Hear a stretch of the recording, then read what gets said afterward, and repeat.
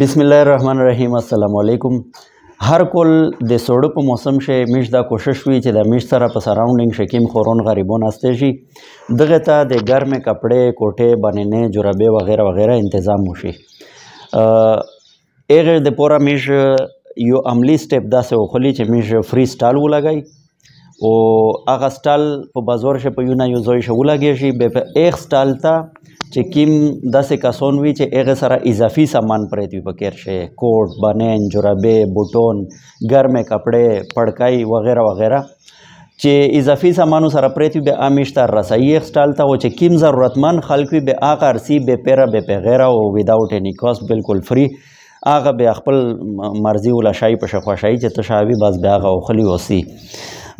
اس دغه د پورا میش د انګریز البیا انیشیټیو خوسته دا چونکه موسم اس وره پوره شدت نسی لګیا دا سړکې شي نو ان شاء الله میش بیا اراده دو چې چا سره سدا سه اضافي کپړې خو کوشش دا سه کوي چې داسې کپڑے یا داسې کوټ داسې بنن داسې سامان مشته وروړي چې هغه ډېر برباد حالت شي نه لکه ځنه خلک مشته معذرت سره بجا بجا بننی نه یا بجا کوټی نه یا بجا کپڑے وروړي بیا داسې وی چې مشي ځنه او خوخلی خو لکه میشي په سټال شش دوای نشي په دا چې میشي به چاته ورکوای نشي او نیې سه کو خلی په دا چې الریډي هغه بجاوي به قابل استعمال وینه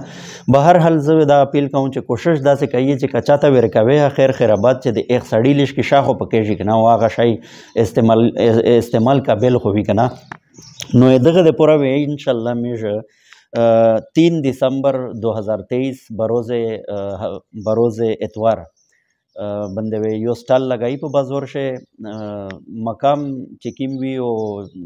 کیم زوی شوی لګای ان شاء الله به مش بیا اناونس کوه مې یا ډیسایډ کړه نه ده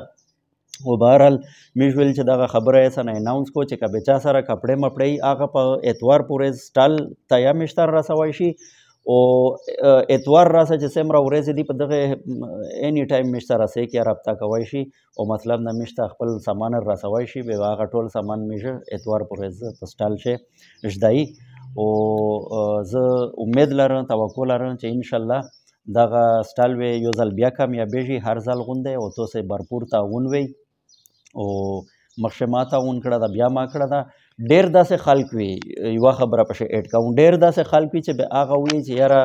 زړې کپڑے هم سره شته نه یا زړه څه شته نه او زه کا پیمنټ وکړو نوې سامان بیا نوې سامان کا هغه په خپل پیسې اوخلي او مشته رسای او کبه مشته پیمنټ کوي به مش په آبنده ان شاء الله شنا ش سامان کوشش کوي جو ته اوخلي تو سره ډیره مهرباني وسلام